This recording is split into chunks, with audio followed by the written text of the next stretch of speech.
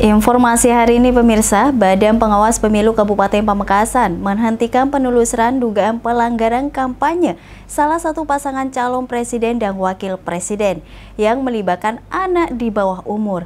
Mengapa? Berikut ulasannya.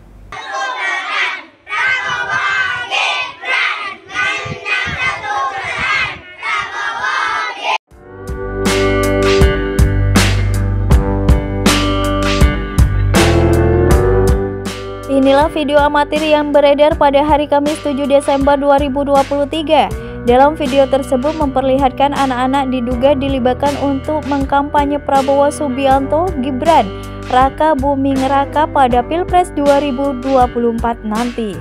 Diketahui puluhan anak-anak tersebut merupakan siswa Madrasah Dinia Bustanul Ulum di Dusun Cempringin Laok, Desa Cempringin, Kecamatan Propo, Kabupaten Pamekasan.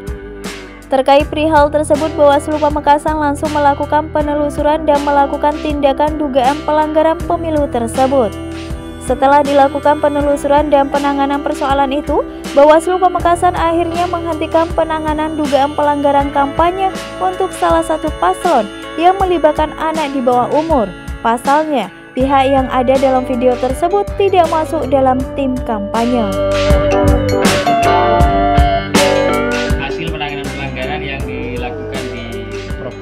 Kecamatan Propo ya iya.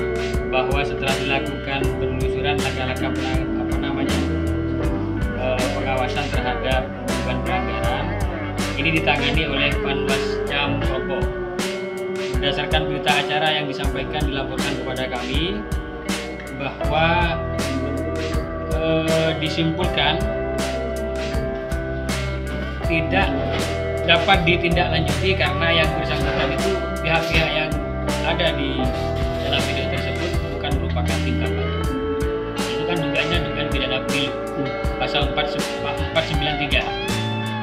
pasal 493 itu subjek hukumnya adalah tim kampanye. Sementara ustadz yang di sana itu tidak terdaftar di dalam tim kampanye. Sehingga unsur pasalnya itu